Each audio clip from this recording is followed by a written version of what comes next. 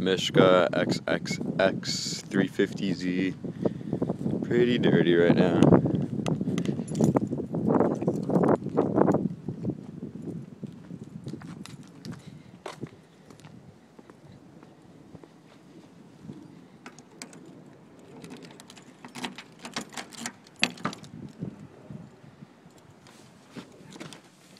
Pretty average car that could actually drift.